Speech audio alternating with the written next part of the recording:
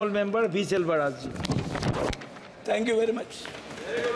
மாண்புமிகு பேரவைத் தலைவர் அவர்களே வணக்கம் இந்திய திருநாட்டின் வெகுஜன வாகனம் என்பது ரயில்தான் ரயில் பயணத்தை அனைவரும் விரும்புவதற்கு காரணம் அதனுடைய கட்டணம் இயற்கை உபாதைகளை கழிக்கக்கூடிய வசதிகள் ஆகவே தான் மேம்படுத்த வேண்டும் என்கிறோம் சமீப காலங்களில் நாட்டின் பல பகுதிகளில் ரயில்கள் தடம் புரள்வதை பார்க்கின்ற பொழுது இந்திய ரயில்வே தடமாறி சென்று கொண்டிருக்கிறதோ என ஐயம் ஏற்படுகிறது. விபத்துகளுக்கு காரணம் பணியாளர் குறைபாடா அல்லது பயிற்சியின்மை குறைபாடா என்பதை விளக்க வேண்டும். விண்வெளியில் சுற்றுகின்ற ராக்கெட்டையே பூமியிலிருந்து பழுது நீக்கக்கூடிய நுட்பம் வளர்ந்திருக்கின்ற சூழலில் ஒரே தண்டவாளத்தில் இரண்டு ரயில்கள் வருவதை ஏன் முன்கூட்டியே அறிய முடியவில்லை என கேட்கிறேன். எனவே கவாச் போன்ற கருவிகளை முழுமையாக பயன்படுத்த வேண்டும். எந்த வடிவத்திலும் ரயில்வே துறையை தனியார்மயமாக்கக்கூடாது. அதை அரசு உறுதிப்படுத்த வேண்டும்.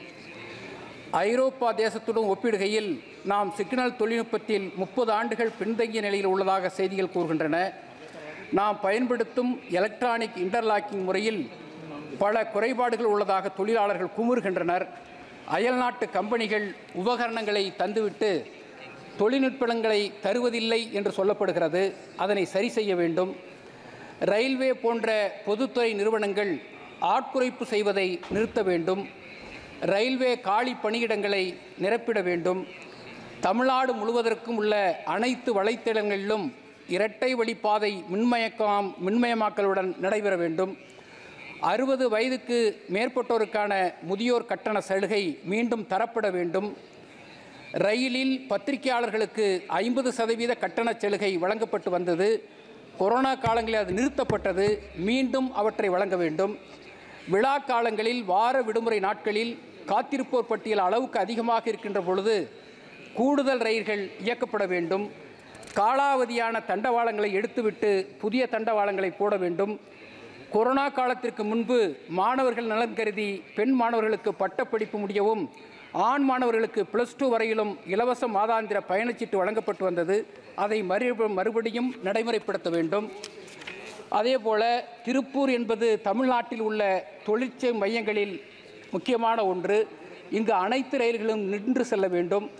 திருவாரூரில் போதுமான இடவசதி உள்ளதால் அனைத்து ரயில்களுக்குமான முதன்மை பணிமனை அமைக்கப்பட வேண்டும்.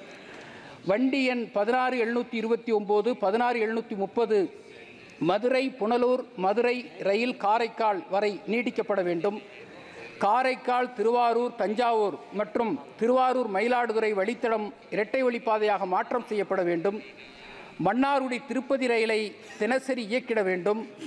மன்னார்குடி மயிலாடுதுறை ரயிலை திருவாரூர் இணைக்கும் வண்ணம் காலையில் காரைக்குடியிலிருந்து திருவாரூர் வரை பயணிகள் ரயில் இயக்க வேண்டும்.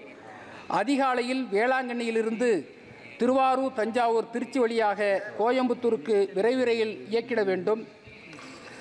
விழுப்புரம் மயிலாடுதுறை ரயிலை திருத்துறைப்பூண்டி வரை நீட்டிக்க வேண்டும். ப்ளீஸ் திருத்துறைப்பூண்டி அகஸ்தியம்பள்ளி பாதையினை கோடியக்கரை வரை நீட்டித்திட வேண்டும். பேரளம் முத்துப்பேட்டை கொடாச்சேரி கீவளூரில் அனைத்து ரயில்களும் நின்று செல்வதற்கு ஏற்பாடு செய்ய வேண்டும். சென்னை காரைக்குடி கம்பெனி எக்ஸ்பிரஸ் ரயிலை மீண்டும் இயக்கிட வேண்டும். பழனி ஈரோடு திண்டுக்கல் காரைக்குடி திண்டுக்கல் புதிய வழித்தடம் ஏற்படுத்திட வேண்டும். திண்டுக்கல் சபரிமலை உள்ளிட்ட புதிய வழித்தடத்தை ஏற்படுத்திட வேண்டும் என்று பணிவோடு கேட்டு விடைபெறுகிறேன். நன்றி வணக்கம்.